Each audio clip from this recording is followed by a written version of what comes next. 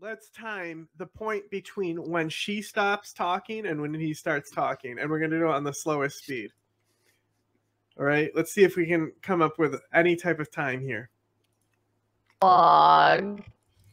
It could have been. Notice how she has to submit right here at the end, putting Mm. up her hand saying an interesting point she's doing this submission sandwich again to him. for both men and women. So that is where I rest my Well, again- Oh, She didn't zero. even stop. Literally zero. Oh my god. Literally zero seconds. Awesome. That is awesome. Notice how I noticed that because Mm. I am listening to the woman speaking, unlike Ben, who is just waiting for her to stop talking.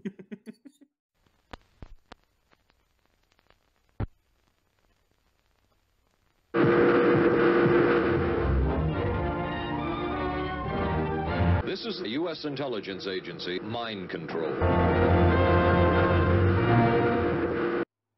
You know, it's a really, really good, like super. Joining me on the line movie. is um, I think it's called Aces or Smoking Aces. Smoking Aces. I think I have it, but I haven't seen It's it. I don't think. Excellent.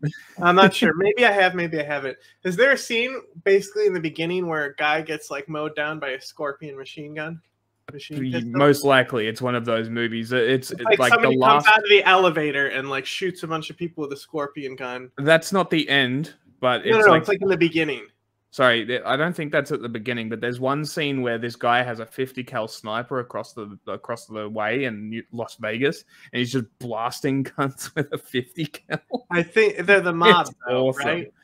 Uh, it's it, they, there's like a contract, and the it, the whole story is that there's this contract, and like eight different It's groups are trying to get the right? contract. About. Yeah, yeah, Uh, and there's a scene. It's basically parodying almost Leon the Professional, where he comes out of the elevator and he like Yes. even says "shh" to a guy, and he's got a yes, scorpion yes, gun, yes. the CZ. I wasn't. I I didn't take notice of the gun, but yeah, it's, I, I might even like be it. wrong. It might not even be a CZ. That's just how I remember it. mm, I don't think it was. We'll check after this because my internet certainly can't handle me opening a tab to check. the incredibly wrong Brett Cooper. She uh, she's the host of the wildly popular comment section and also a fan of both Greta Gerwig and the Barbie film. So so Brett, I, I have to ask you, you're sitting there wearing, for those who can't see, a pink sweatshirt and a hat reading "Make America Hot Again," and uh, I have to I have to ask you, you apparently Terrible hat. Way too big for her head. Still got the stylish headset. Honestly, uh, why would you make this hat and not make it a like a fit cap? You know, like this is like the weird abusive wino mom would wear this Mm. unironically. You know, yes. Hilarious. He liked the Barbie movie. I enjoyed and so it. I'm wondering if maybe you saw another movie, but you thought it was the Barbie movie. I did not. And you know what? And I watched your 43 minute review and you made a lot of excellent points. And I told No, my audience No. that. And I told them that you made excellent points no. because you were right about the plot. It was not the greatest not about film in terms of its construction at all. It was very, very messy. But you can't deny that it was fun. It was colorful. It was a great time. Oh, I I. I know. Yeah, I as know, opposed shouldn't to every that. other movie you being deny it. Gray. Do you like musicals, Ben? Do you like musicals? I love me. I do Oh, we love talked musicals. about that. In fact, I know musicals. Yes, you and I have talked about this. I I, love musicals, but in order for a musical to to be good, Mhm. it has to have more than more than one song, and that song has to be good. Mhm. And the, the other song songs. that they use is just a rip of a 1990s rock song. That is true. I read There about there are that. two songs. There's one that's like a rip of a 1990s rock song, and then there is a large scale musical number that is just basically rammed in, sort of like Mhm. singing in the rain, where they're like, we have this, we have to have a musical singing sequence. We're just going to ram this in here. And Uh-huh. so uh, they, they they basically do that with the Ken dolls, and all the Ken dolls are dancing around, and in a song that, by the way, Brett, I, I Mhm. challenge you right now. You're you're you have a beautiful voice. okay. You you liked this. Yeah. Sing me the song. Um, the one Sing where sing it to me. Sing me the song. um, Ken. I'm and I am Ken. That was basically all I remember. Oh, To be fair. Ken. Right. So it's not a good song But it was fun. because um, if it were a good I'm song, you could be, you could sing it all. I am saying then, She's seen it once. that I enjoyed watching it. It was silly. It was one of those films where I went in and I was worried about it because I had seen so many people be upset about it. And I was like, oh, okay, whatever. And you know what? They spent $150 million on advertising, and that advertising was great because you know what? I was bought in. And I truly did think that it was like an escape in a lot of ways because it felt totally different than anything I'd seen in a while. It kind of reminded me of La La Land, which was objectively much better than Barbie, but in the same way that it was very, you know, out of this world and colorful. And I think I had just missed seeing something that was bright on screen because you go and you watch movies and TV shows these days, and every single one is dark. She's not wrong. Yes, she is, bro. Doctor Strange is like everyone was talking about how colorful it was and shit. That that is true, and Doctor Strange was an excellent movie. Doctor Spider-Man Strange is the the Spider-Verse. the best Marvel movie that has been made. Literally, And it's the- been nothing but guys in bright, colorful tights. But all the the surroundings are grey and sad and depressing. You're talking like it's shot like Capote. Did you know? The settings are did you know terrible. Capote specifically had a color palette that made you depressed? Oh, really? Interesting. There's only there's only red in a few of the scenes, and one of them is like when he's reading his book. They have like three or four characters wearing red that are in the audience when he's reading the book. Interesting. That's another movie that's a masterpiece right there. It's, it's not a terrible and movie. dreary and sad and depressing. And it was just nice to sit around people who were laughing and having a good time. My producers came with me. We were laughing our asses off. The audience was so excited, and it was like, wow, this felt really, really cool. Like, there was that one moment, and I don't know if you'll get this part or not, but they were joking about like the anxiety ridden Barbies, and they were talking about like the real world women, and they were saying, oh, she's just lying in her bed watching the BBC adaptation of Pride and Prejudice which is my very favorite. And objectively, it is the best adaptation of Pride and Prejudice. The entire audience filled with women burst into laughter, and, and everybody was like slapping their boyfriends, being like, Look, it's me. Like, I watched that. And I think that that's just a very cool shared experience. Now, regardless of whether the film is going to win any awards or whether it will be acclaimed, because it really is not the most high quality film, I What- think it was cool to be able to sit in an audience with a bunch of women who were just enjoying laughing at this because it did speak to a lot of very feminine things, which I think is Okay. good in itself. Okay, so that. Okay, so a, a few things. One, yes, it's very colorful. The production Yes. design is the one thing about the movie. He needed notes He did need notes. to come talk about this movie. It, it wasn't a CZ Scorpion. It was a shotgun. where he comes out of the elevator. Yeah, and there's Is there- three of them. One of them any, throws two grenades. Is there any CZ Scorpion?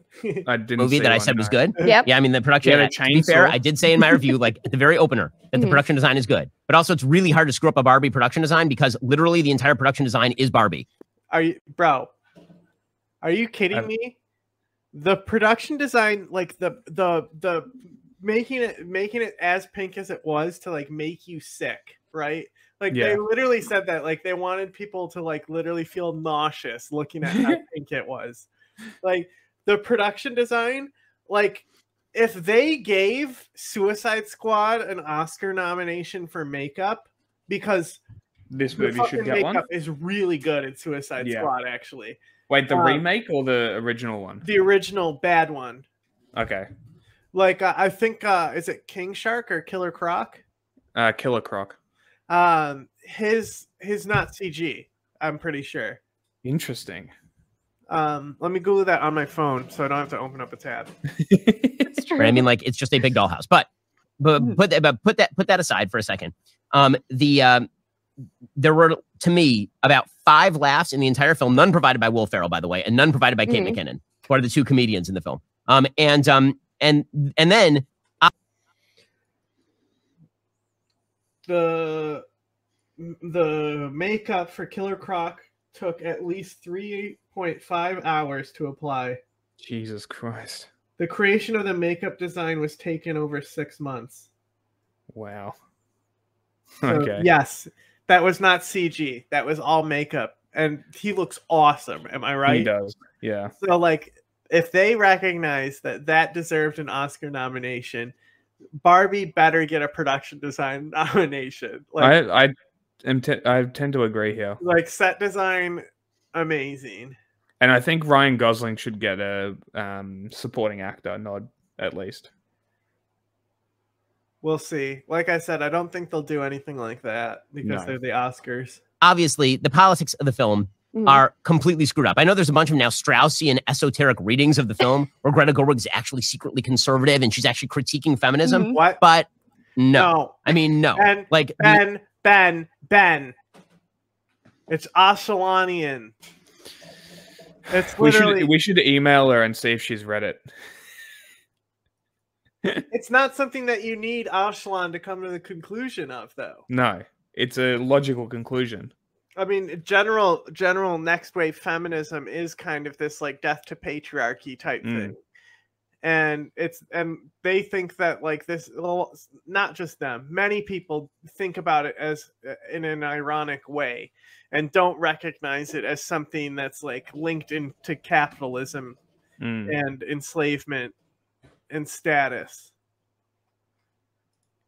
the, the, the speech that America hear Ferrera gives about Mhm. two thirds of the way through That's so I cannot pause this every two seconds. All right. Did you hear my lizard headbutt the glass? No. Cringy. In which bad. she explains how rough it is to be. Uh, it is the most cringy thing that has been put on screen for probably 10 years. It's unbelievably cringy. Mhm. And know, the I- entire kind of My- notion my- that the patriarchy my- is my guy. ruling all. So, first of all, Female Ghostbusters exists. That entire movie was cringe. As the entire basis of the film is that the real world is a complete patriarchy, so magically patriarchal that Ken learns from it and goes back to Barbie Land, where he then applies the Yeah. He's also infested with the virus of patriarchy, Ben. Barbie liberates everyone from the patriarchy, including the men, Ben. Men also At- get a good ending At her expense. in expense. the too. Barbie movie. At her expense as well. Uh, crazy, right? Mm. Uh, crazy that they gave the men a good ending in the Barbie movie, but it's not good enough for Ben. They didn't get equal rights. It's not woke enough. It doesn't have full equality at the end. I like my movies with perfect equality in the messaging and ending. Remember the Titans? Favorite movie. patriarchal standards of the real world Mhm. to Barbie Land. And the only solution is that in i- i- to create paradise is that men and women must be separated from one another Mhm. and cannot actually have No. interactions. Now, I do think that Greta Gerwig can't actually hold this this thesis. I'm fine as long as it's you being separated from the women, Ben. I because The agree. thesis is unsupportable. Like the uh, the underlying message of the Your film, thesis. ironically enough, is actually the thesis you made up is unsupportable, you mean, Ben? Based based on the previews to the movie. In the movie that he Very definitely conservative where in the he was sense that- scowling the entire time. No. Ben, how could you have been watching that movie when you were writing down like three full pages of notes instead of watching it? that everyone is deeply unhappy. Yeah. Right. Barbie is deeply unhappy in Barbie Land. Ken is deeply unhappy in in Barbie Land. Mhm. Everybody is deeply unhappy. In the real world, everybody is deeply Ken unhappy. is unhappy. There's no actual family in the because film. all does the is only family is the Yes, everyone is Bobby- deeply unhappy. That's why this movie is totally a Buddhist utopia. The theme is suffering. It's it's not it's about the it's about the realism of suffering, Ben. It is so far beyond your little feeble tiny brain, Ben.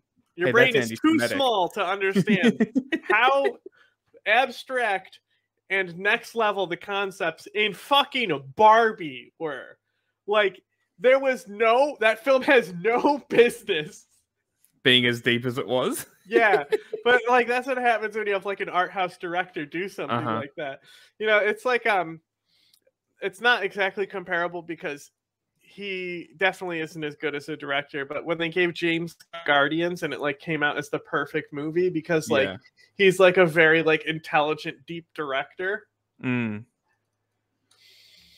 The That was a mom and the daughter. movie. Yep. The mom is unhappy. The daughter is unhappy, and It's the dad is basically as- absent. He's there. He's in the film for literally five seconds. They can make a throwaway It's joke about him. one of Barbie- the best. Barbie is probably one movies. of the probably one of the best movies I've seen in theaters. Honestly, Interesting. uh, you just have to be you just have to be intelligent and know film enough to understand why it's the best. Did you see Not Oppenheimer? being able to speak.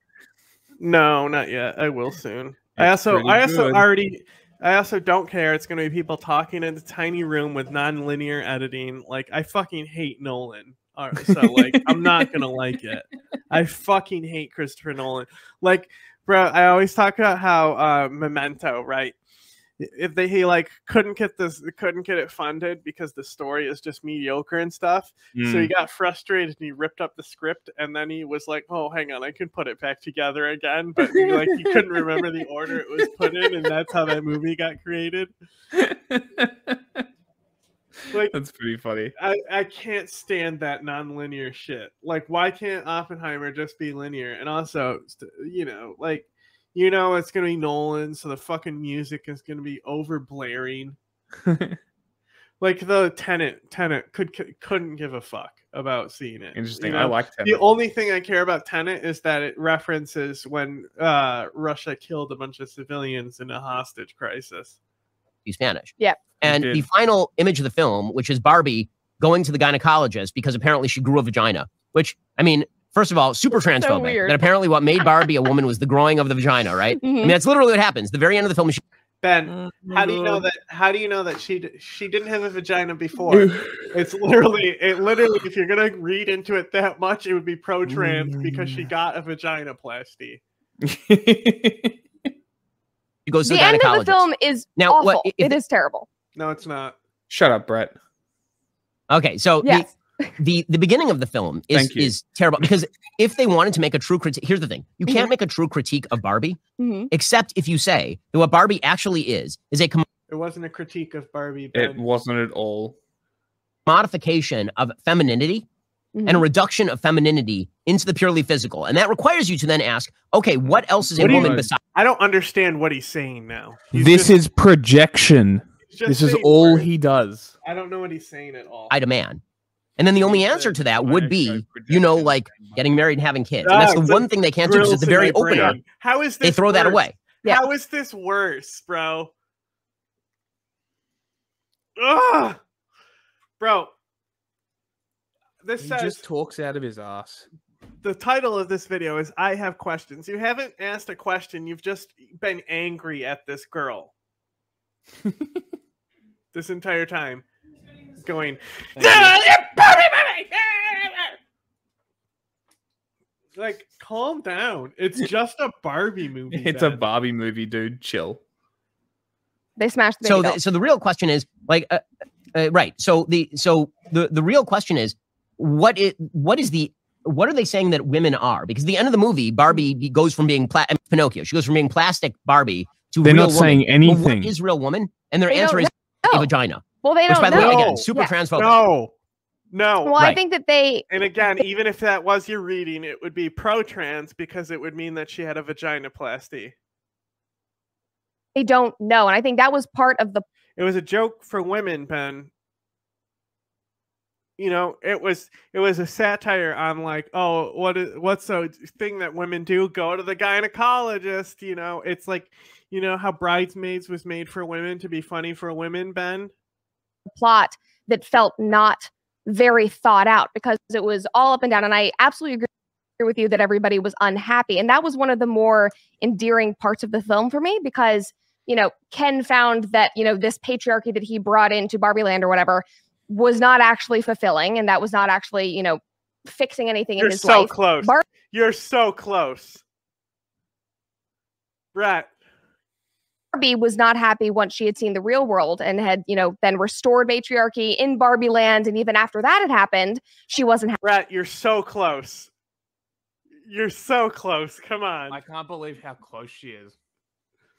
She Happy. almost gets it. And I think the most endearing part for me, even though the ending was way too long and the part with Ruth Handler, who was the creator of Barbie, was very, very weird. That white room was very, very odd. But I did think it was endearing that even after the perfect matriarchy in Barbie Land, Bro, again, the theme is like how it's the death of childhood. That white room was her childhood, like going to the afterlife. had been restored, Barbie then chose to go to the real world, which is apparently a patriarchy. And I think to me, as a viewer, I looked at that and I went, oh, she's choosing like She's choosing to advance women's role in the we- real world She's because also choosing to deal with the struggle of being human. Remember, like when she meets the little girl and gets told she's a fascist, it introduces a new crisis in Barbie where she wants Barbie to be the thing, right? You know how I actually wanted it to end? It what and uh, it, where she walks in there and they say that her name is Margot Robbie and they break the fourth wall. Saying that like Margot Robbie was actually funny. Barbie who came to the real world. That would have been so fucking That- funny. That's what I thought it was going with, but it went with the gynecologist, what I think is fine. It was just kind of a lame joke to end on. I think the dad trying to do the Spanish was much funnier than the gynecologist bit, but the women in the theater thought that was really funny, and that's who it's actually made for. The human experience. So I She's can get choosing to live in a world that maybe is not Unlike perfect because our world is not perfect. And I thought that was interesting. I don't Are you eating spaghetti? Because I've been thinking about eating spaghetti this whole time. When I'm done here, the first thing I was gonna do was make some spaghetti. Know what your take is on that, but I walked away from that even though I the am. ending would drag. Look at his face right now. He's tr- he, he's a fucking dementor. He's trying to like suck her soul out. Yeah, he's he's very not happy because she's actually On making good drum- points, and he's like, "Fuck." He's not listening. he's not listening at all. way too long. He's just like, I can't wait for this woman to stop talking so I can read my laptop notes.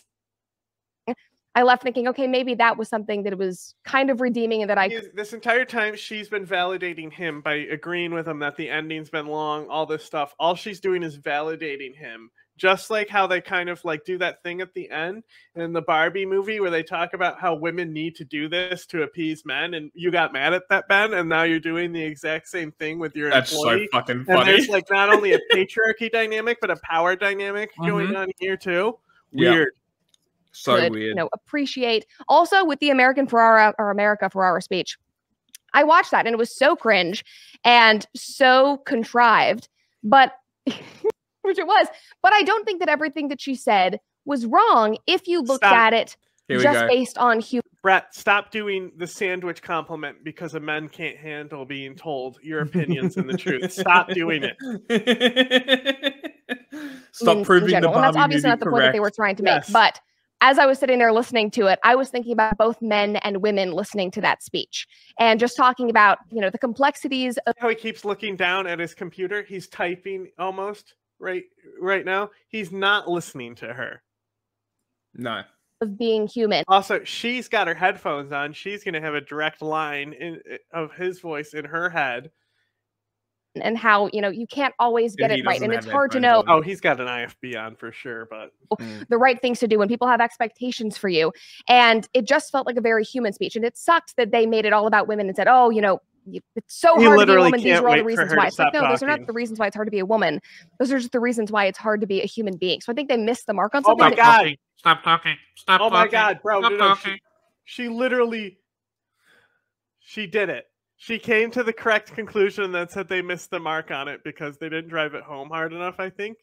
of being human and how you know you can't always get it right. And it's hard to know the right things to do when people have expectations for you. And it just felt like a very human speech. And it sucked that they made it all about women and said oh you know it's so hard to be a woman. These are all the reasons why. It's like no Yeah, those are not, not the reasons why it's hard to be a woman.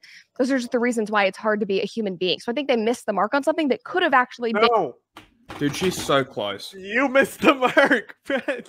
You're so close. in It's so it had not been a really cringe monologue it could have been an interesting point for both men and women so It that is. is where i rest my case Well, again, on the, that the monologue. only solution. So, so here's my bi- here's here's my big problem because everything is Okay. Like I have been saying, how he can't wait to talk. Just Mhm. an experiment, right? I'm gonna turn this as slow as it can go. Yep. Let's time the point between when she stops talking and when he starts talking and we're going to do it on the slowest speed all right let's see if we can come up with any type of time here Monologue. It could have been notice how she has to submit right here at the end putting Mm. up her hand saying uh, an interesting point. she's doing this submission sandwich again to him. for both men and women. So that is where I rest my Well, case again- Oh, She didn't zero. even stop. Literally zero. Oh my god! Literally zero seconds. Awesome. That is awesome. Notice how I noticed that because Mm. I am listening to the woman speaking, unlike Ben, who is just waiting for her to stop talking. That the, the only solution so so here's my bi- here's here's my big problem because everything is refracted through the prism of of a secular feminist outlook Mhm. everything in the movie is refracted through that prism the obvious solutions that are available are completely put aside I don't know, Ben. You're saying it's secular, but the theme was suffering. Seems pretty Buddhist to me. She even reincarnated into like a real life after death too. So right i mean Mm-hmm. the, the obvious solutions that are available which would be like you know barbie treating ken like a normal human and ken treating barbie wow, like a normal it's normal almost human like that's what is what happens. Did you miss it? Did you see the movie, Ben? Or were you busy r- r- writing in your notebook about how angry you are at the Barbie movie? Yes. That's completely put aside because he has to treat her like woman and he and she has to treat him like man but, But they're only in the feminist Ben. outlook They're, So- that's how Mattel created them. Yes, They're not the- actually but if the idea is that but But- understood. But the, if the entire idea is that these stereotypical Kens and stereotypical Mhm. Barbies are stand-ins for what men and women are actually like, they're Mhm. reductive, but they're stand-ins for what men and no, women no, are no, no, no. It's only stereotypical Barbie. It's Beach Ken. actually like. Then theoretically, the solution is for them to be what men and women have always been to one another, which are partners, Mhm. which they decide is not the solution. Right? No, the no, no. end Everyone else gets together. Everyone else is kind of happy and smoochy at the end, Ben. is that Barbie Land ends up being maintained Mhm. by by essentially subjugating the No. men. Right? The men Yeah. have to go back to subjugation in order for Barbie Land to maintain. That is not what happened. It was a joke. It was a joke, Ben. It was a joke about how women are treated in the real world. It's almost like, you know, like it literally it goes between over the top and being like as plain as day where these jokes are, and like somehow still missing them. that would make sense if they actually explained what the human experience is. Now, I think Greta Gerwig sort of What is trying to do that at the end. I think she's trying to buy back the entire movie in that montage at What do you end. mean? What the human experience is? The movie. She's a doll, Ben. Bro, it's literally Pinocchio. He's said it multiple times too. Pinocchio. Pinocchio just barely understands being a real boy at the end. It's literally Pinocchio, Ben. Yeah. Where it just shows a bunch of moms and daughters and like the human experience and all up. of this, Mhm. which I think is frankly cheap filmmaking. Oh I, I think that it is basically her at the Ben, very end realizing she doesn't have any sort of message to the movie. that part made me Of- cry. Made me cry. Okay, because yeah, w- w- that's why it's cheap filmmaking because she I literally know. just gets a bunch of old home movies and she's like, "Look at the old lady," and the old lady is with her kids. And that's what of cry. stuff. I Okay, love but that part. if you were, if you were, oh my god, if you were Oh act- wow, Brett Cooper connected with the human moment that literally is like the death of Barbie when she becomes human, and it drives home the human connection between mother and daughter. Crazy that she would have a human emotion to cry at that point. Actually I going didn't to feel make like crying, but you know, So crazy. that case, then the then the the film they should have just made Yeah. is Enchanted. Mhm. Right, that would be the actual plot of the Yeah. film. The actual plot of the film. I loved that would be movie that too. Barbie doesn't like Ken. She goes to the real world. She Mhm. goes to the real world and she falls in love with a real guy. Mhm. And yeah, the real world has all of its problems, oh, but there's a re- whoa, whoa, whoa. So you're you're saying the plot has to be Barbie falling in love? Why does why does partnership and love have to be anything to do with it? Why can't Barbie You, you just don't like, understand, be a John. free, You- you, don't woman? understand. Women must be subservient to men. What if what if it ended with her getting a cat? He'd be mad and comparing her to No, Taylor he- Swift. He would be like, and that's what happens when you choose to be away from men. You become a weird cat lady. She's weird Barbie and gets a cat at the end. real guy there who she wants to be with and have, have kids with, right? And that would actually be a plot to the movie. Instead, we have no idea why she chooses to go back to So the real world. you're mad because she doesn't want to go to the real world and have babies. Why do you think she's seeing the gynecologist, Ben? Like, well, what is the reason? What is the reason? Like apparently think she does have the feelings in Barbie world, by the way. Yes. She still has the the, feeling, reason is death of childhood, Ben. Things, right? She, when she goes back to Barbie world, she doesn't lose the feeling. She still has them. Well, I think she's so what's so great a about the real world? We never we Death of Oh, I think what's great about the real world is that she has this. Well, she started at the Uh, I mean, I think there c- there can be innocent adults, but yeah, sure. beginning of the film, you know, having thoughts of death, and she gets out of this out of the Barbie box, basically, and where you only think about being Barbie and beach and all Elizabeth Warren is an is an innocent person, is who I described as in naive. You know, like she's not aware of the evil of the world. That type of innocence. Sure. That's more of what I see. Is the death of innocence comes with like understanding that evil exists. Barbie doesn't get into evil, good and evil. No. They they do one genocide joke. They don't really get into like beyond the good and evil. Sure, that's fair. So it really is just about mom and daughter. So Mm, uh, that's why I would sure. argue Okay. childhood, Sure. but innocence Yeah. works too. Yeah.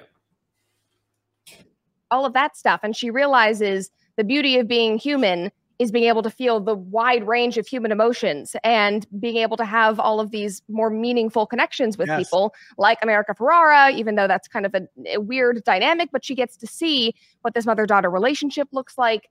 She is interacting with real She, people. she also is understanding that when you choose to make these types of connections with people, that you open yourself up for more suffering later, and chooses not to be afraid of that.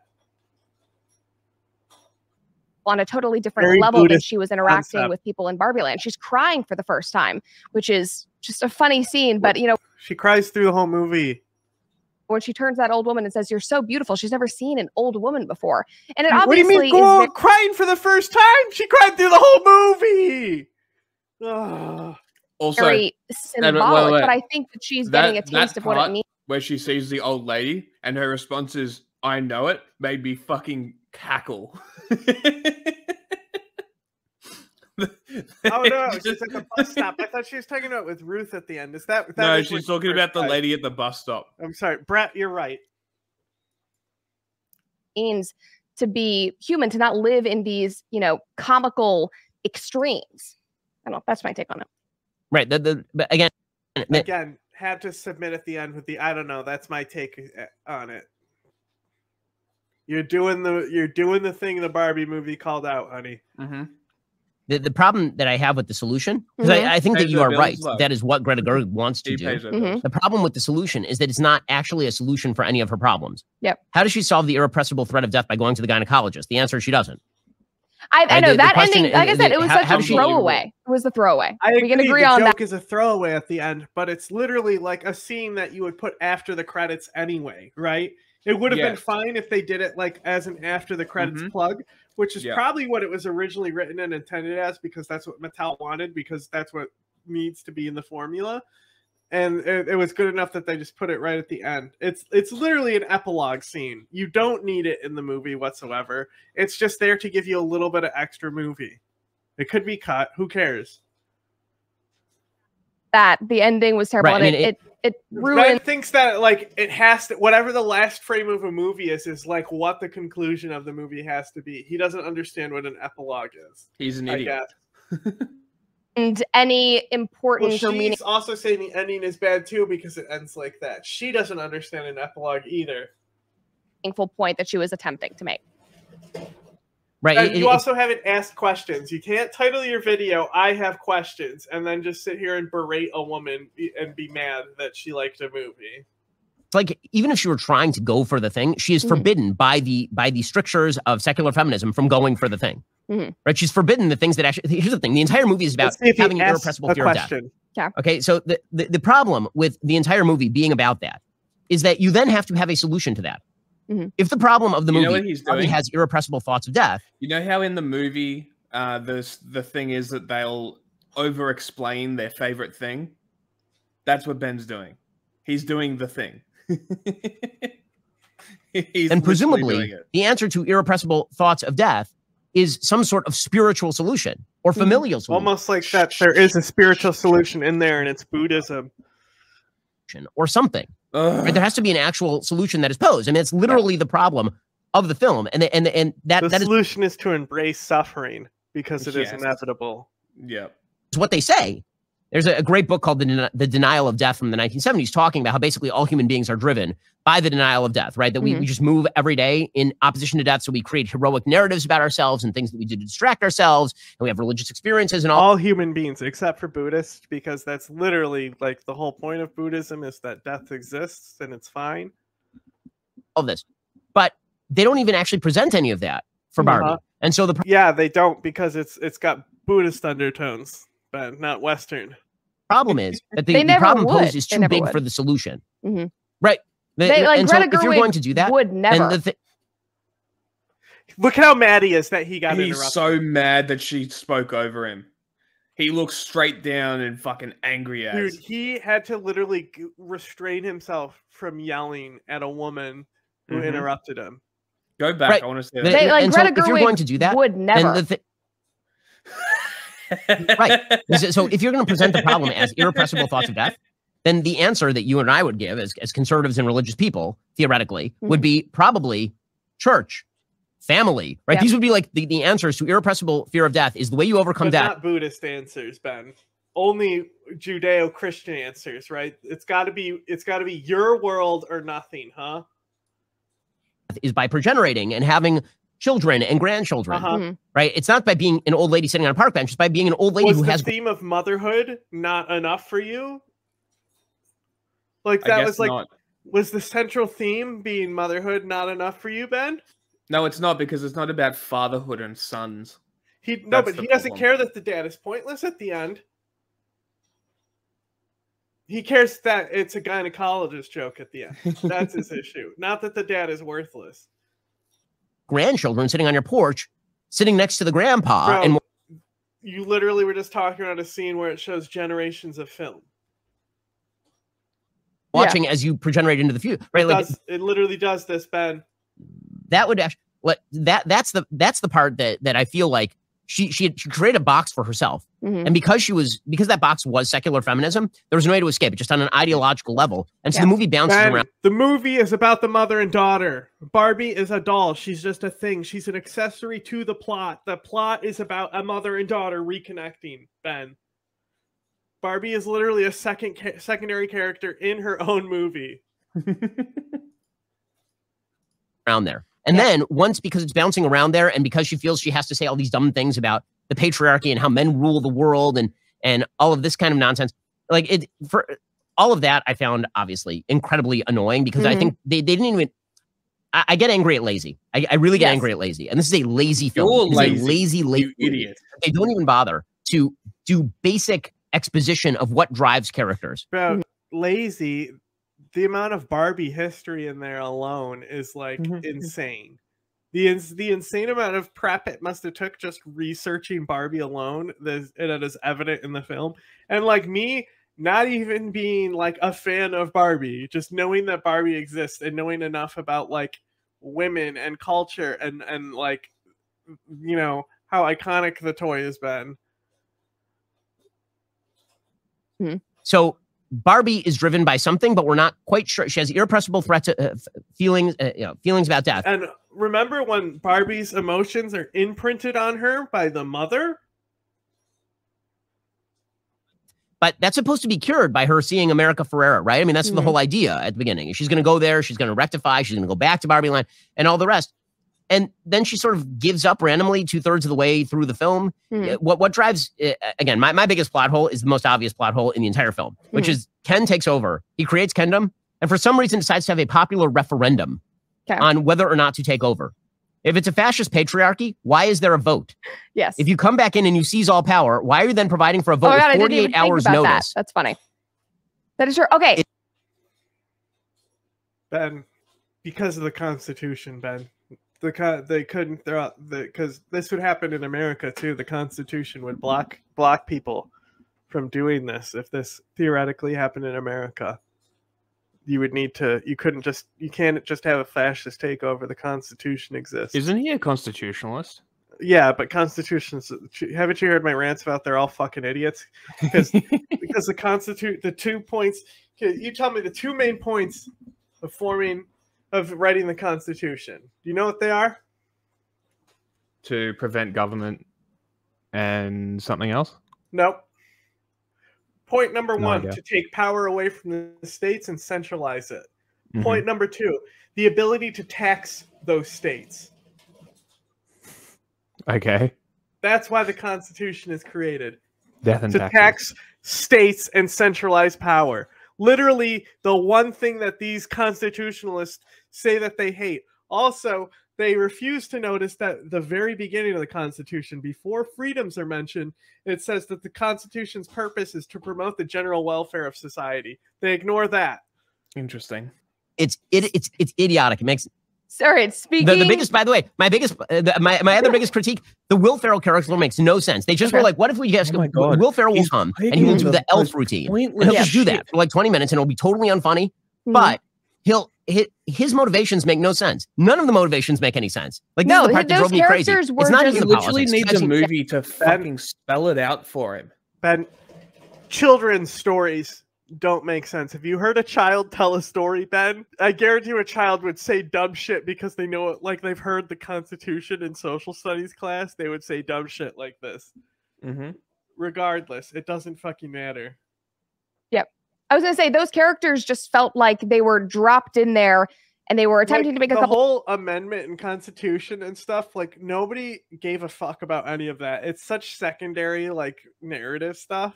of jokes. I did like that one speech where they were, it wasn't even a speech, but where they were trying to be as woke as possible. Like those, because they were, you know, the men running the female doll company and they were trying to, you know, be up to date on the current thing and the progressive thing. That made me laugh because it's just normal, you know, corporations, like every Pride Month, basically. That's what oh they my do. god, yes, you're yes, you're correct. Ironically, you're correct, but just you know, somehow also weirdly giving me incorrect vibes because of the conclusion you're coming to. It's just capitalism. It's a, it's a it's a joke about how capitalism is. And so that made me chuckle a bit. But other than that, it felt like he didn't, I mean, he didn't offer anything to the film. He was just there and it was kind of like a funny montage of Well, I him mean- trying to get to Barbie Land. But other than the, that, the entire, I mean, th- this goes again. uh, ironically, the thing that upset about the film was not actually the politics, because I assume Mhm. every every left wing film is going to be left wing. Mhm. Uh, the the the thing that upset me about the film is that it was a waste of my time. Like, do not be so lazy as writers. Like the the, the Ben, it was not a waste of your time. You have gotten millions of views off of your Barbie content already. You are literally making your money back on this by a lot, right? Your profit margin is way higher than the Barbie movies right now because he probably spent what? Like he brought went with a bunch of producers. So it's probably maybe let's say a hundred dollars altogether you spent on that Barbie movie. You have made far more than a hundred dollars off of the Barbie movie. So in theory, no, it's impossible for you to have wasted your time watching this movie. You are profiting from it. You are a liar. ironically, the thing that upset me about the film was not actually the politics, because I assume Mhm. every every left wing film is going to be left wing. Mhm. Uh, the the the thing that upset me about the film is that it was a waste of my time. Like, do not be so lazy as writers. Like the the the, the the plotting made me absolutely insane, insane. I mean, the fact that they, they go to the real world, and now we're Mhm. told by the Mattel Corporation this is a crisis. Why is this a crisis? Will Ferrell says something unthinkable will happen. they don't say what it is. And then what is the unthinkable thing? And they're like, we won't even explain it. Well, Because it's I don't know, unthinkable. something unthinkable. Okay, so now you're just being lazy. Now Mhm. you're just being incredibly lazy. Will Ferrell, his character, who's supposed to be driving the plot, right? Because he is the plot device by which they're attempting to capture Barbie and Ken gets to go back, and then they have to, Mhm. for some reason, they follow them into Barbie Land and all of the rest of this. His his character goes something like this. I am a man. I run a Plot female-led corporation, and the He's a women have to be put back father. in the box, literally. Mhm. Literally, we have to put the woman back in the box because we're all we care about is profit. Yes. Then he's told that the Ken doll is going to outsell the Barbie doll. And he Mhm. says, No, actually, we are the Barbie Corporation. I have to stand up for women. And he makes that flip inside of five seconds. And you're like, Well, hold up. Are you the emblem of evil capitalism like in the Lego Mhm. movie? Or are you like an actual fem- feminist? What's the deal? And, and this sort of divide runs all the way through the film. Let's talk about who you trust. You shouldn't trust big tech with your data. It's just a dumb thing to do. Shut up, Ben. It's Yeah, just a dumb thing to do. Give me your data I- instead. At Daily 20, Wire 20 minutes in, has he asked a question? I Lady love- Bird is I white. I stopped. waiting to see if he was asking a question. Honestly, I got sidetracked. Wildly overrated. Oh, again, as like a I young woman, I didn't hate. I love that I didn't hate movie. Lady Bird. I didn't hate Lady Bird. I and, also and, and- love. and at the very end, again, Greta Greta tries. Greta Gerwig does try to Mm-hmm. buy back some religion. Again, the the out to Lady Bird is the one she doesn't use in Barbie. Mhm. Right. The out The in Lady Bird religious is at yeah. the very end. The girl, right? The girl Mhm. realizes It's almost like this director has a theme and was ending on different religious concepts, Ben, and you didn't Mm-hmm. you know nothing about Eastern religions, so you missed it. Is that the value system that she has been pursuing is actually not the right value system, and she goes to church and Yep. she calls her mother. she right, that's goes the back very end to of her film. Catholic upbringing. So yes. she actually, and I also she- and I she- also or at least to a religious background, right? I also enjoyed Frances Ha, which she and her husband did together, and I think that I also enjoyed her um, her adaptation of Little Women. I think that the older one was better, but I do love, and I said this at the beginning of my review. I just enjoy Greta Gerwig in general. Like I remember sitting at a SAG. Um, you're gonna hate this, Ben. I was sitting at a Watch SAG Q and his A mind. uh, with some director circle with Greta Gerwig, and I was so inspired that I went home and I wrote her a letter, like thanking her for Lady Bird because I loved the Okay, so you're you're a fangirl for Greta Gerwig. This is not a I fair am, conversation. I am, but I will. like- okay, you're- so you're writing- I am. That's why I said at the beginning of my review is that I just I like her in general. But I will say I do not want This to. is not a fair conversation, is what he just said. To you, now he's the oppressed man. Are you Ken now? to see what she's going to do with the Chronicles of Narnia because she's doing the adaptation. She's Okay. going to absolutely right. butcher that. And it's interesting because she keeps having Yes. these. I just want to know about her upbringing Interesting. in a way because she keeps kind of dropping in these religious themes and these more spiritual questions and then never really answering them. And it feels like she Almost like spirituality and religion don't provide answers. herself, Greta, is grappling with a lot of this. I don't know how she She's was a- brought up. She's a lapsed. She's a lapsed Catholic. She's Yeah. a lapsed Catholic. She was raised Catholic, is Mhm. my understanding. Okay. And then she Oh, dropped she's away from the church. through Mhm. and so she's in search of a value system, and it's uh, pretty clear in her work. a right? Is that she's constantly in search of a value system. So movies Lady Bird is really about her. i mean, it's about her. way, It is. Uh, she, sorry, exploring she was not raised Catholic. Each religion. Okay, so we figured out why, and you still can't fucking figure it out. You are a moron. You she wasn't. She was an. I, believe she was a. Presbyterian who went to a Catholic high school. So that, Okay. that story is really about her. Mhm. Um, and so the the sort of thing that she is searching for is the thing that she has forbidden from herself, which is Yeah. to take religion seriously enough to actually take it seriously. Mhm. And so I, that, that's why I think the C.S. Lewis adaptation is going to be a disaster area because Yeah. the thing that C.S. Lewis is calling for you to do in Lion, Witch, and Wardrobe is to be a Christian. That is what the book is about. It and so her is. actually adapting that, I- I- like I, I don't I don't see how she's going to adapt that. I mean, there's a lot of critiques of that in Little he Women. is right. The Chronicles of Narnia is undertone a religious book. I know this because the evangelicals I went to Catholic school with were allowed to read that, but not Harry Potter. too is that Mhm. is that there's some Christian And you got a lot of them. I love in doing They totally- Women that actually gets kind of ripped out by by, by Greta Gerwig. Well, Um, she makes so, it much more girl again, I- bossy than the books actually were, which is unfortunate. I loved the right. the actors in it. I thought it was great, but there was a lot, so, and that usually happens when books are adapted into movies. You lose a lot of those deeper meanings, which is unfortunate. But especially when they're yes, exactly. But I really think that's going to happen What- with Chronicles of Narnia. Well, I mean, again, what, what's fascinating about Gerwig, just as a, as a director and as a writer, is that she knows enough to ask some of the right questions, but she is forbidden from answering them in any proper way. Mhm. Right, like so Yeah. th- th- that that's that's the thing that's actually interesting about the Barbie movie. I will say that that from I think it fails because of this. I think Mm-hmm. it, like on an ideological level, I think it fails because of this. As I said, I think when you set up the it problem as fails irrepressible because I don't know what Buddhism is. Okay. Well, fear of death, and then your solution just doesn't exist. Like you're Ben, she literally like chooses death at the end. Like she embraces the concept of mortality at the end. Like she could have lived forever. She could literally could have chose heaven and she walked away from it. Come on, dude. your solution is sort of secular rote feminism, No. and everybody's unhappy. Like I think that she's actually she's almost critiquing her own worldview unconsciously. I don't think she Mhm. meant to do it. Right? There are some people who are doing a Straussian reading where she meant to do this, and that when you watch it, what you're actually meant to take away is that feminism I is a think most failure, of it and is that an what we actually need is to get married. I, I was going to say, I, I was about to say, I think most of it is an adaptation. No, I think most of it is an accident that inadvertently she was dropping Yes. these things. They're not understanding it. Um, okay, one End question I have. Have you the heard? This is going on on Twitter right now. This Of is ne- horrible. The inadvertently dropping these things and she didn't realize it, bro. Ugh. This is The amount this of is so deliberate painful. tones. Neo conservatism. I'm so shocked. I thought this is gonna be funnier. The uh, the fact that this is the worst and most the peak suffering. Conservatism. Is this the people who are very into the kendom? Is yes, this is? they That are. was a question.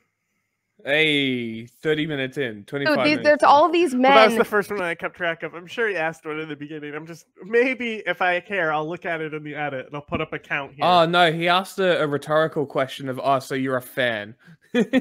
Well, I'll count any type of thing that I can put a question mark on. Put a if I care on. enough in the edit, I'll put a counter on. who suddenly feel seen by Ken, So and they're like, questions asked.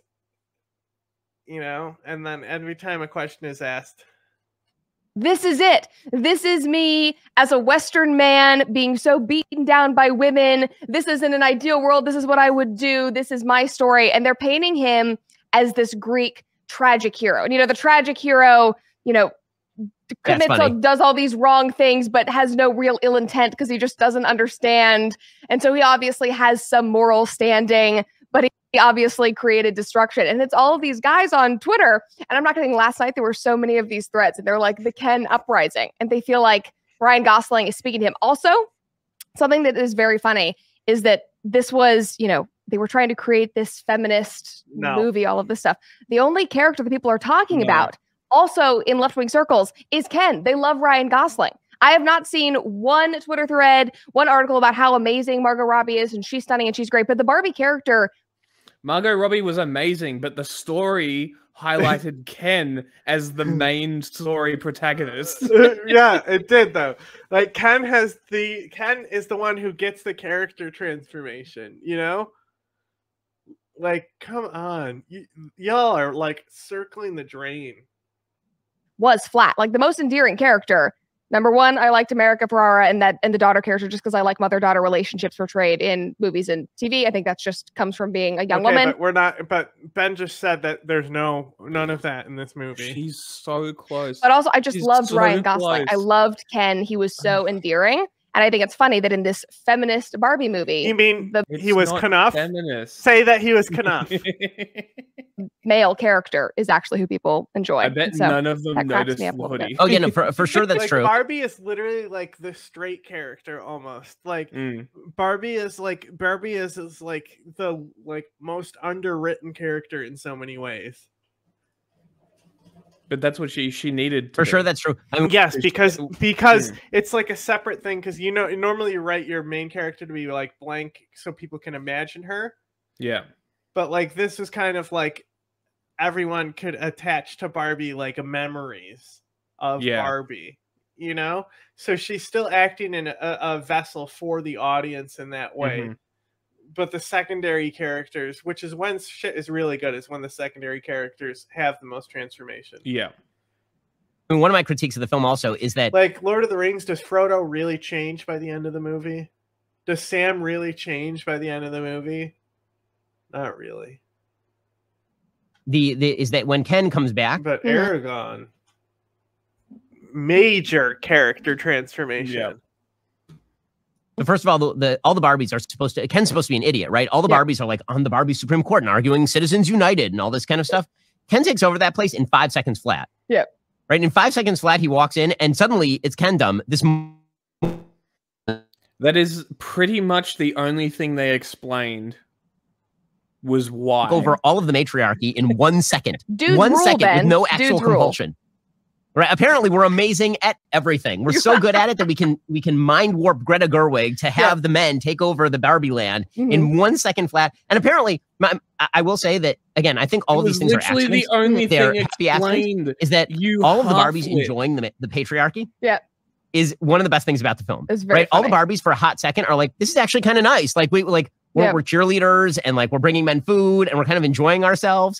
And they actually have to be informed by Mhm. Weird Barbie and Company that Yeah. actually they're miserable. That's such Which a is weird kind of funny. of the yeah. I mean, first of all, it assumes that subservient needed to be informed like the kens were informed that there are different ways Whoa, to do you mean things they read Ashalon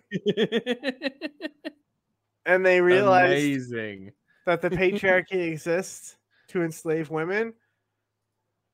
fucking hell How dope would it be if they actually like pulled out an Ashalon book? it would be awesome Oh, it's super weird. It's it's it's suggesting women have no agency, really, right? They Mhm. have to be they have to be told by the by the feminists that they're miserable. Like Mhm. until then, they were. Ha- by, by the way, that that that kendom doesn't even include the part of the because it can't. It doesn't even include the part of the patriarchy that the feminists actually say is part of the patriarchy, which is childbearing. Yep. Right, because the truth is that a thing that women like to do, historically speaking, is have babies and raise. So historically, women like to die. Ben, do you know? Do you know why prostitution is is such an old and great profession? It's not because men are perverts. It's because women died in childbirth, right? And so, like, instead of choosing to die and get pregnant, women were just okay with their husbands going out and seeing prostitutes because they wouldn't risk their lives and die you know, because they had children to take care of. So women couldn't even be free, you know, until like contraception started to exist, right? And that's when we actually see like Victorian values crack down because women could actually be, you know, you see it nowadays, like they're blaming everything. Jordan Peterson blames everything on the fact that women can actually not die in childbirth. You know, that's literally like Jordan P- Peter Peterson's like entire really? thesis. I mean, yeah, he talks about how like women have a choice now and aren't subservient to men. That's literally his, and that's why men are sad, is what he's saying, is because women have a choice Ah, and they can have sex with who they want. right That's his entire thing. fucking hell raise them. Yes. I know. I'm married to a doctor wife, and we have four Oh. of them. Okay, And somehow I didn't. So it's a thing that women are into, and the women are into- We have four kids together. the patriarchy even without the babies. So that, Mhm. that- like again, I think that Gerwig, because I think she is a conflicted person, Mhm. is operating. I- I'd be fascinated to find out which parts of the script Noah Baumbach wrote and which parts of the script Greta Mhm. Gerwig wrote. Actually, I think it'd be really, really interesting to find because they would co-wrote the script. Yeah. I would bet you, and this is not to stand for for Greta Gerwig, Okay. again, I'm not a huge fan, but the, the, certainly not to your extent. I would bet money that the worst parts of the script were actually not written by Greta Gerwig. Yep. I would bet you the worst parts of the script were almost universally written by, by Noah Baumbach. Interesting. That's a that's a really interesting take, especially just because of her track record of struggling with these questions. And obviously, where they were in there. The other thing with the Ken and Barbie relationship that you just talked about, where the women had to be informed, that also makes me laugh because that's basically what happened with feminism in our world. Like women were very happy, and it took other women to come to them and say, "No, you are actually." were they though Wait, wait until wait until they realize that these patriarchal concepts that are keeping men sad are things that you need to be awakened from, and then you'll actually start feel, be, feeling better. Like you're actually sad from the patriarchy. Ken Ken was incomplete. You know that was kind of the point. mm-hmm. Actually very very miserable so once again i think it's an accident where i was kind of laughing at it because I like, just realized this is not a fish. This is a s like a statue head back here. I thought this was a fish. And now I'm looking at it and being like, how did I ever think this was a fish? hey, yes, this is exactly what happened. And I chuckle at it because it's so obvious that even though to me it is obvious that this is could be a commentary on our world, I'm sure she was not intending it that oh, way Come on. because she thinks that she's actually saving these women, which of course is what feminists actually think. So I think you can on. spin it a hundred different ways, but there were a lot of, as you say, happy accidents in there that definitely Come made it more enjoyable because the movie was chaotic. There were obvious plot holes. But oh yeah, it was And- it's a mess. silly. It's a mess. but it was silly and it was fun. And my Eh, point in doing my review was that I had a lot of women writing to me saying, like, I feel really bad to because I, You tell me- the You tell me. You tell me where Stanley Kubrick explains his fucking movies in his movies. You tell me. when it happens. You want to know when it happens? There's one point when it happens, and it's not that he's explaining his movie, he's explaining Stephen King's book. And it's when the guy explains what shining is in The Shining. Yes. That's yeah. when it happens. But even then, that was him explaining a Stephen King concept, not something that was a Kubrick concept. interesting. I enjoyed seeing it. And I was like, you don't have to feel bad about enjoying a fun movie. Like there obviously have been better movies, and you know, Oppenheimer is probably much better. I'm seeing that this week, but you don't need to feel bad for enjoying a fun movie and enjoying shirtless Ryan Gosling doing a Okay, dance so two things. Okay, so I'm not going to talk about that. I know. Two two final two two final points. I want to get your your comment That's on. because he fucking Uh, apparently, I, it. uh, first of all, Well, apparently, I, I two final points you want to get her comment on, or two questions? Because the name of the video is that you have questions for her. Apparently um un- unconsciously even dressed Mhm. like Ken. So this is a thing. But it, it, it- that, that was that was the meme that was going around. Is that Yeah. I was wearing the Ken You were. outfit. It's a black jeans and black shirt, guys. That like That's your Halloween Okay, costume. case, you already figured it out. uh the. Uh, Exactly, we're done. Um, th- so the the so two things that I Okay. want to get your take on because these actually I think are are fairly but one they're they're kind of the same critique. Mhm. Who is this movie aimed at? Question. Hey, we got one. Let's It was aimed at young nail it. women. Mhm. Again, I think the messaging is wrong, but okay. But- it's aimed at me, Ben. Me is what she should say. One of my problems is that when If I went to the says theater, there were moms bringing like their eight year old girls. really? This is not an appropriate movie for kids who are under 14, 15 years old minimum. no, it's not. If they're not your kids, it's not your fucking problem, Ben. Shut the Ben- fuck up. Ben, it's it's almost like it's rated PG thirteen. right? Um, It's just not. I mean, I it's, did it, not has got a it- bunch of jokes and references. Yeah, I did not think that it was marketed towards young people, but I am also like children. But I also am not fed that kind of marketing. I don't have kids. I'm not eight years old. I'm not on that, you know, part of the internet. All of the marketing that I saw, all the Right. advertising that I saw, the people who were talking about it were all women ages 21 to 30, I would say. Yep. People who use the internet. And 28 year old males like me.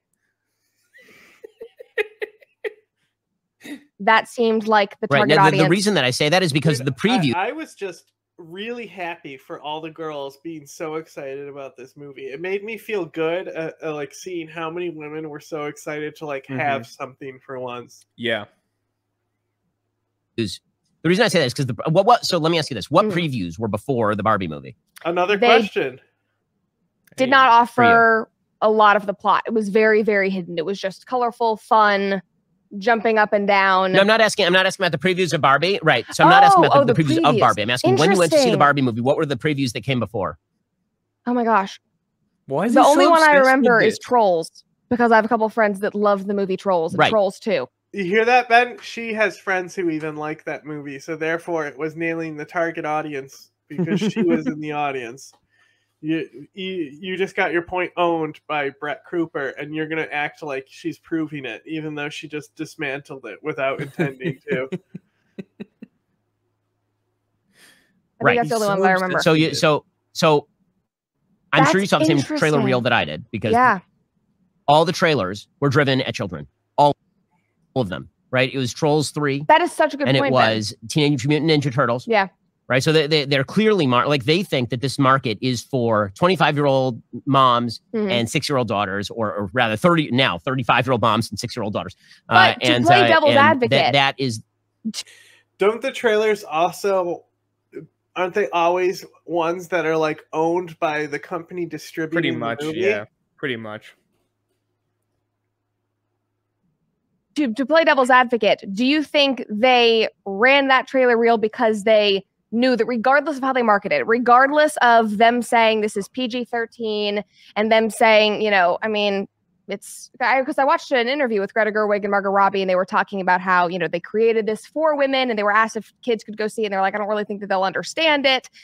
Do you think that they were worried, like that, the, that the theaters were worried that Not moms were going to bring their daughters? it. And so they went ahead and just made it family friendly? Like, I don't know if I would put that on the production team. I would put that more on audiences wanting to bring their daughters to a Barbie movie.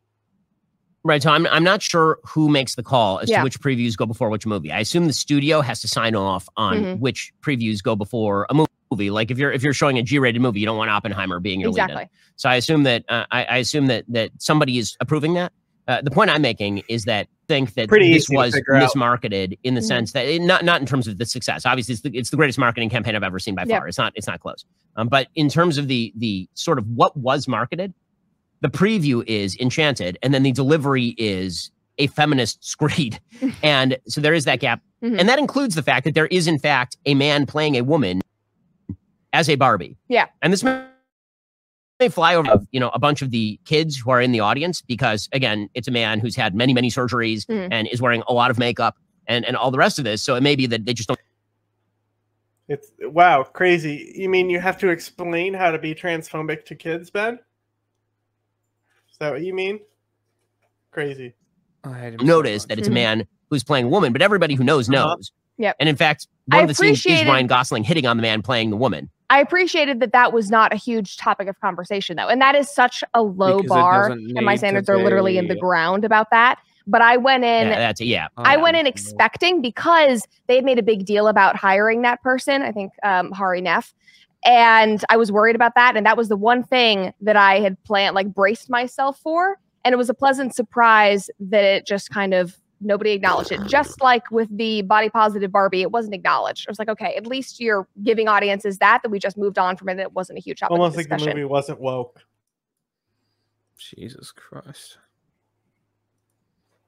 because I feel like in everything we watch these days, gender identity is a huge portion of the conversation. Oh God, the so that was up. at least yeah like in that. uh, uh, yeah uh, like like I say again I think that the end of the film sort of rebuts the uh the casting yeah. the end of the film is Barbie becomes a woman by going to the Oh my gynecologist God. so Yep. Yeah, that's that's kind of awkward. Okay, well, That's we can so agree to disagree on on Barbie. The things I think we agree on: good production design. Mhm. Uh, I think we agree that Ryan Gosling is, is the funniest thing in the film. Yes, Um, absolutely. and I think that we agree that there are serious political problems inside the film. You are just willing to overlook those because you're much younger than I am, and uh, and also because you are uh, representative of the young female perspective, whereas I am older and wiser, and thus can see the threat to uh, American culture and like morality that exists in echo movies seen by millions of people preaching feminist It's like garbage. a. Okay. And chamber. you don't love Greta talk to Gerwig. as always.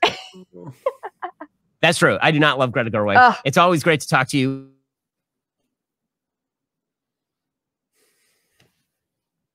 Just put him down. End our suffering and misery.